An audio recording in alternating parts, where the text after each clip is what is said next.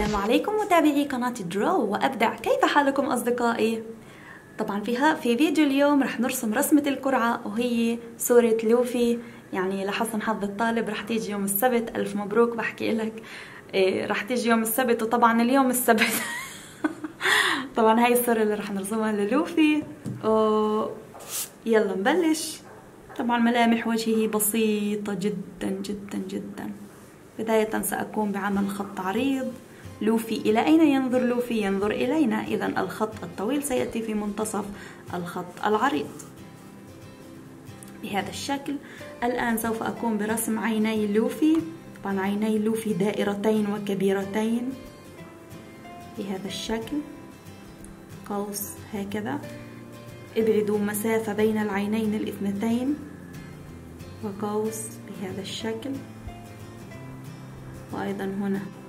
سيأتي قوس بهذا الشكل هكذا في الأسفل. سأقوم ببعد عينه قليلا يعني بمسح هذه الخطوط لأن عينيه بعيدتين بعض الشيء عن بعضهما البعض. علينا ألا نقرب العينين من بعضهما البعض. نعم هكذا وخط قوس بهذا الشكل. ويوجد في داخل العين دائرة العين بهذا الشكل. إنه مضحك قليلا. ورسمه سهل ولكنه محبوب.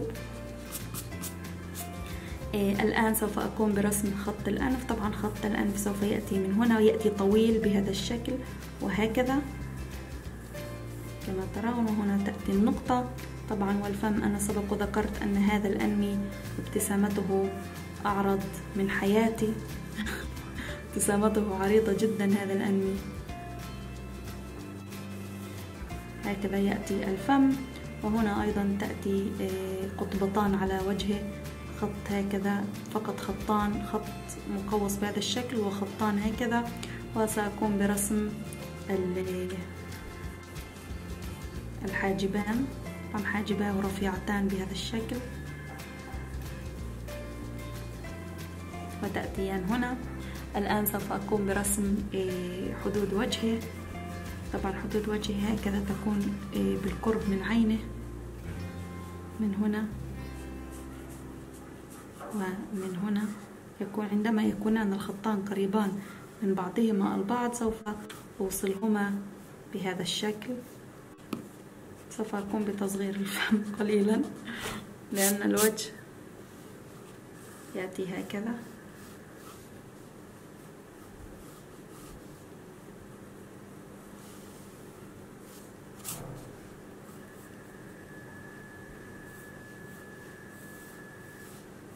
بتهويد الوجه إلى الأسفل قليلا فقط هكذا.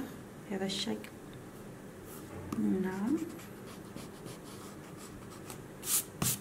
الآن سوف أنتقل لرسم الأذنان. طبعا أذناه صغيرتان ودائرتين ومدورتان بهذا الشكل.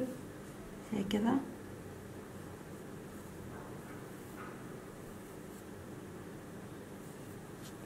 نفس الشيء بالأذن الأخرى.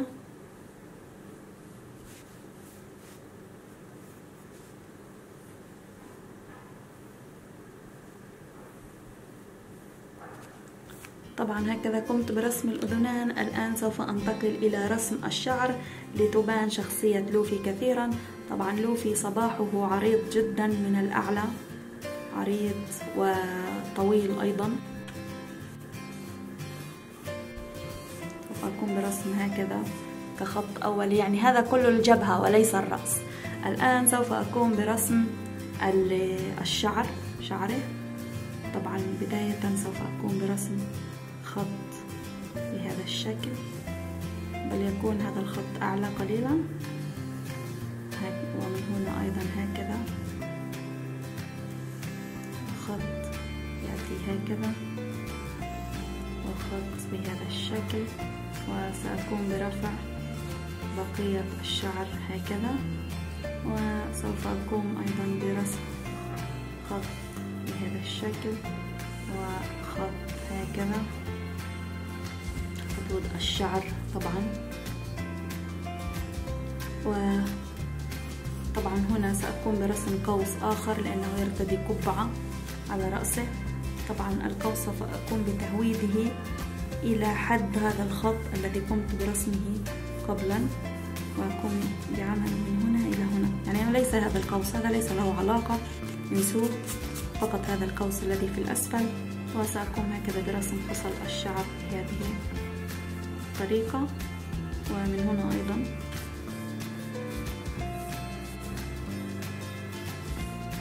يأتي هكذا بهذا الشكل. و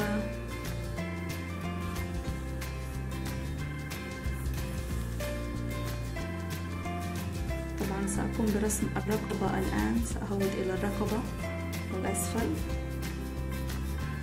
رقبته تكون هكذا طويلة نوعا ما. ومن هنا سأقوم هكذا تكملة. طبعا الخط يكون بهذا الشكل خط الكتفان. وسأقوم برسم خط مقوس بهذا الشكل خط صغير هكذا وهكذا مثلثان بهذا الشكل. وهكذا الكتف يأتي هنا. نفس الشيء من هنا هكذا. خط الكتف يكون شرط ملائم. لكن سأقوم برسم تكملة والكتف بهذا الشكل. طبعا هنا تأتي عظمة الصدر من هنا هكذا. هنا أيضا.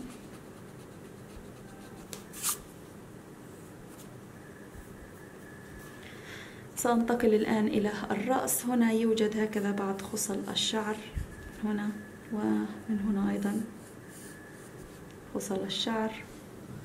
والقبعة تمتد من منتصف الرقبة من هنا هكذا. إلى هنا ونفس الشيء من هنا هكذا. طبعا تكون أنا بالغت في تكبير القبعة لكن القبعة تكون أصغر قليلا. هذا الشكل. من هنا تأتي رفيعة بهذا الشكل. أرفع. ومن هنا تأتي هكذا بهذا الشكل. يعني إيه، قبعته ليست كبيرة كثير الشيء وهكذا يوجد هنا هكذا بعض الخطوط. هنا يوجد بعض الخطوط. إيه، طبعا تكملة القبعة إيه، لن تأتي بالكامل. من هنا. إلى هنا. فقط هكذا جبنا جزء بسيط منها.